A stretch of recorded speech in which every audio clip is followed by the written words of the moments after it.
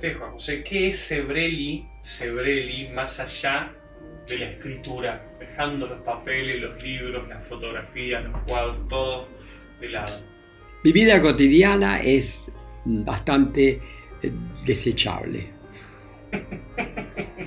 Los, eh, la infancia, bueno, los primeros años de la infancia no, porque no tuve grandes problemas. A partir de, de,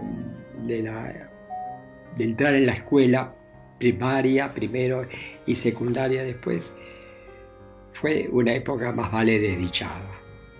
No tengo un buen recuerdo de mi, de, eh, de mi última infancia y de ni de mi pubertad y resucité, digamos, en la juventud. En la juventud sí tuve una juventud bastante agradable, con esas amistades, con Oscar Mazota, con Correas, eh, con los cafés literarios, con la calle, con la ciudad. Yo te puedo decir que ni, el, ni el hogar ni la escuela fueron verdaderos lugares donde yo me sentía cómodo. Yo me sentía cómodo en la calle, en los libros que me llevaban a cualquier lugar, a cualquier, país, y en el cine desde ya también. Cine, libros y calle fueron las tres realmente los que me libraron de caer en una neurosis que me podía haber llevado al alcohol o a las drogas o al suicidio como en tantos adolescentes que le pasan mal quiero ser, que se dice, atrevido o, confianzudo, pero yo nunca lo escuché hablar a usted del amor, digamos, en su vida, más allá de... El amor como el amor eh, romántico... Este, el amor de enamorarse de una persona. No, nunca. Nunca, nunca. Y, somos muchos. Lo que, lo que pasa es que está desacreditado decir, es como, es como ser un inválido. Yo he tenido montones de amigos y montones de parejas sexuales, eróticas, y las sigo teniendo aún a mi edad.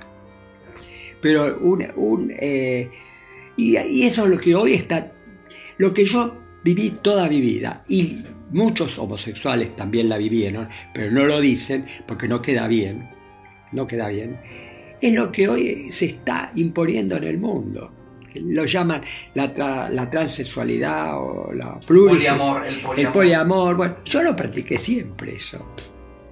Nada ¿Nunca hubo alguien que lo que se dice le, te parte la cabeza, digamos así? No, no. Después, como amigos, sí, Muchos amigos. El caso de Mazota, de, de, Correa, de Correa fundamentalmente y de Blas Matamoro, sí. Y en el caso de, sexual, también he tenido gente que la, le he seguido viendo, pero lo veíamos por una cuestión eh, meramente sexual. Pero el amor así, convivir, la pareja claro. es espantoso. la pareja no. Pero tiene razón lo que dice. y hoy ya está en decadencia. Ya vemos que, las parejas no duran. ¿A qué se cree que se debe eso? Se debe a, la libertad. Eh, antes existían parejas eternas matrimonios que duraban toda la vida, porque lo contrario era caer en, la, en la, marginación total. Una pareja que se, se, separaba era marginada total. Yo me acuerdo de mis familias, eh, mis tías, todos ellos se hubieran separado. Mis padres eran un caso distinto. Mis padres formaron una pareja hasta el último momento también puede existir, en medio de la diversidad, también puede existir, pero una cosa más, no como lo único y como lo obligatorio. A eso contra eso me opongo. Yo, yo siempre digo que si yo hubiera tenido que estar eh, como parlamentario cuando se discutió la ley de, del matrimonio homosexual, yo hubiera dicho no, yo estoy en contra del matrimonio, pero no del matrimonio homosexual, del matrimonio, de todo matrimonio. Creo que el Estado tenga que regularizar algo tan íntimo como la relación sexual. Yo creo en el amor libre. Y en ese sentido, el único partido que ha reivindicado, partido o agrupación social del amor libre, ha sido el anarquismo. El anarquismo fue el único realmente que los intelectuales anarquistas Lamentablemente yo no puedo llamarme anarquista porque yo creo que el Estado es inevitable. El Estado y la policía en un mundo que no es de ángeles. Pero en el aspecto vida cotidiana, en eso soy anarquista. Porque las izquierdas han sido siempre, siempre eh, puritanas. Sobre el Partido Comunista ni digamos, pero aún el socialismo. Y ahora una pregunta para los dos, y quiero que primero la conteste Álvaro. ¿Qué le deja Sebrelli a la cultura argentina? Primero creo que Juan José es el gran resucitador del género ensayístico de, mediados a fines del siglo XX y comienzo del siglo XXI, que no es poco.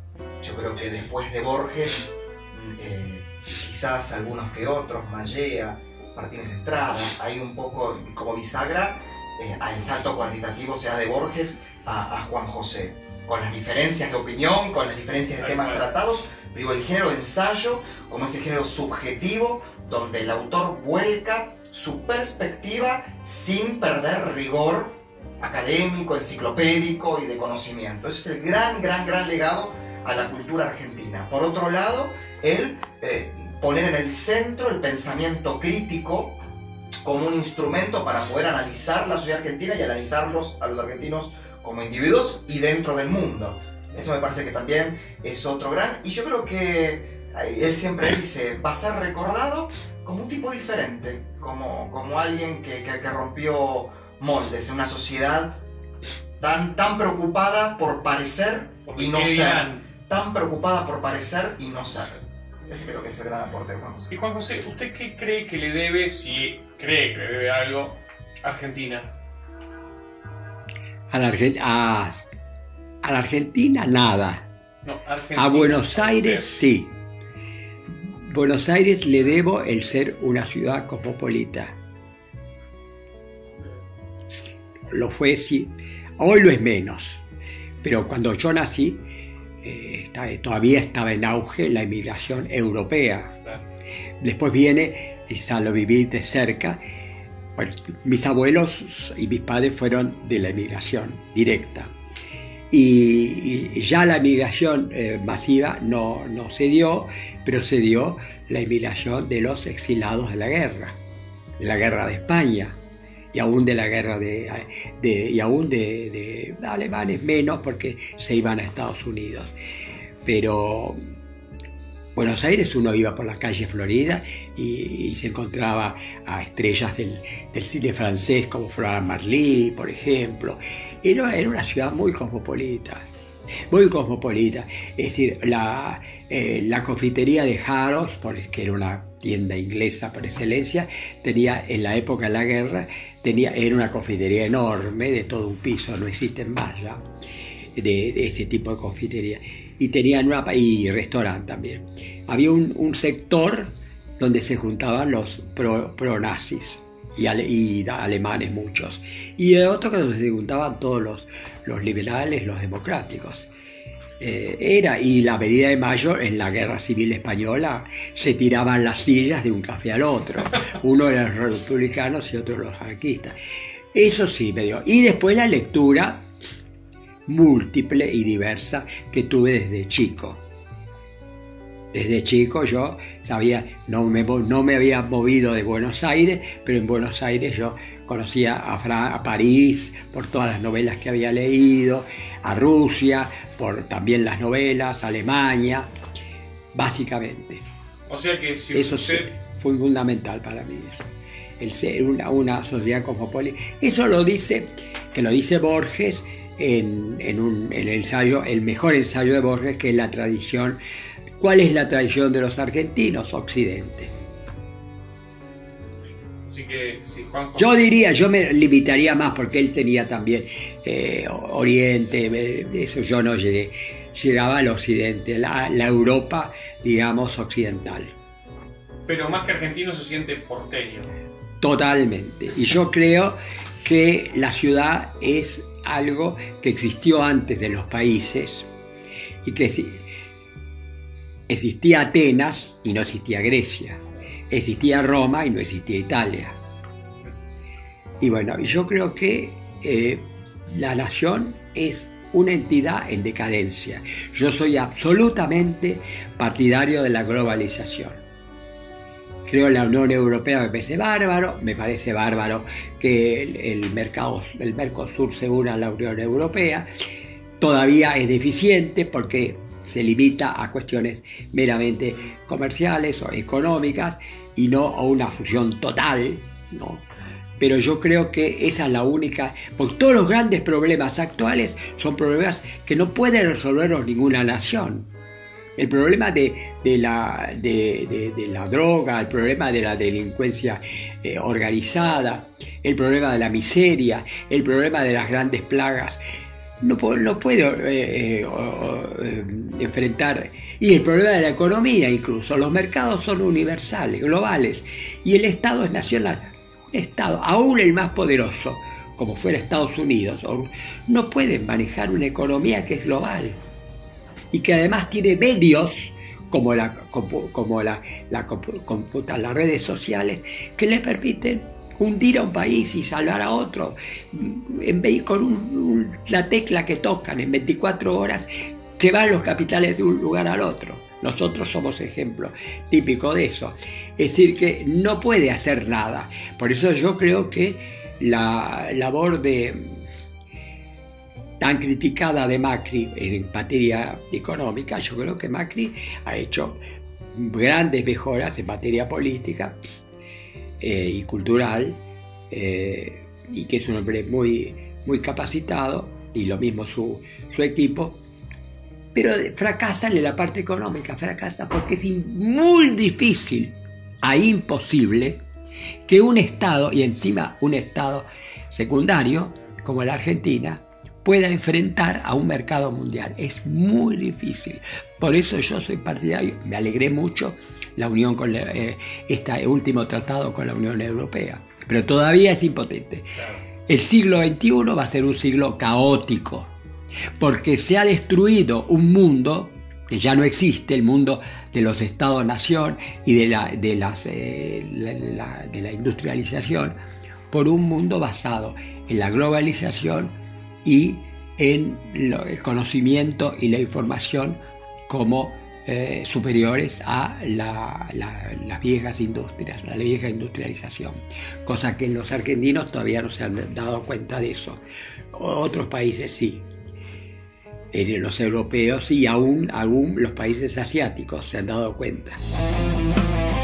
Soluciona filtraciones y goteras en tu techo. Aplica Megaflex No Crack, un producto de calidad superior, flexible, mega resistente. Única membrana con tecnología No Crack, un producto diferente. Me llama la atención en su libro, eh, escritos sobre escritos, ciudades bajo ciudades. Usted al principio habla del silencio de los colegas, habla de sus adversarios, y en un momento dice que no le dolían las críticas que le hacía, sino el silencio. Que en, en universidades donde se estudiaban sus escritos, sus trabajos, era materia de estudio, nunca lo habían invitado. Ni, ni, ni soy citado en ningún libro académico. A pesar de que usan su material. A pesar de que usan su, mi material, sí. ¿A qué se debe? Ahora, eh, hoy ya no me puedo, en los últimos años he dejado de ser un personaje eh, marginal, no, no, he salido del exilio interior, no sé por cuánto tiempo. Mientras, mientras exista la democracia, sí, vean, está, hoy estoy demasiado eh, expuesto, pero el resto de mi vida ha sido siempre exilio interior olvidado incluso por algunos gobiernos democráticos.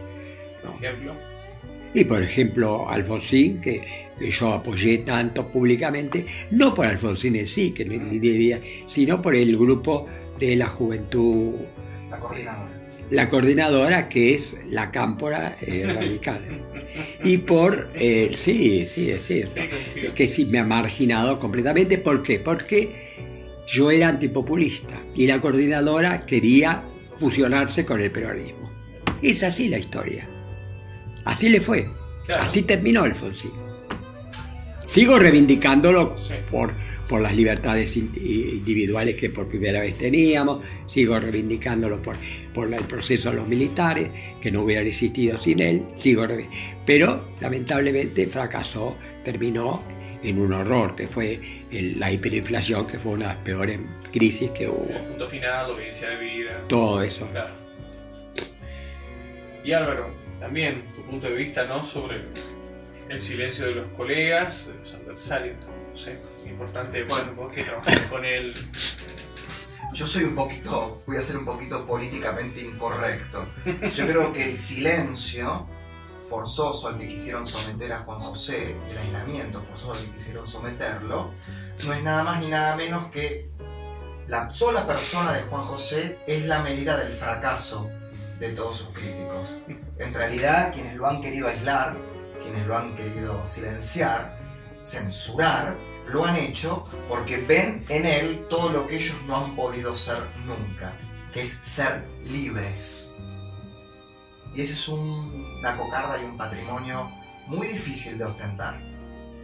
Y comúnmente aquellos que lo ostentan y que lo, y que lo defienden y que lo muestran y otros que intentamos ponerlo en práctica en nuestras vidas, pagamos un alto precio por ser libres. Pensar, decir y hacer las tres cosas en simultáneo y con la mayor libertad. Esto me parece que es lo que. Quiero rescatar de la época del exilio interior, quiero rescatar algunos casos de, de periodistas eh, que me han, y escritores que me han reivindicado. Uno de ellos, nada menos que un apellido famoso, Bernardo Berbisky, padre de Horacio, que escribió cuando publiqué mi primer libro, Martínez Estrada, una rebelión inútil, una crítica muy elogiosa donde me comparaba con ingenieros, que él consideraba que eran ingenieros de, de la época actual. Y, y otro, eh, Claudio Seiger, de nada menos que paradójicamente de la revista, una revista kirchnerista, que- de un diario kirchnerista que es página, eh, Dos. página 12, que ha escrito unos comentarios muy certeros, muy inteligentes de mis libros. Incluso me ha incluido como personaje en una de sus novelas, en una novela de él.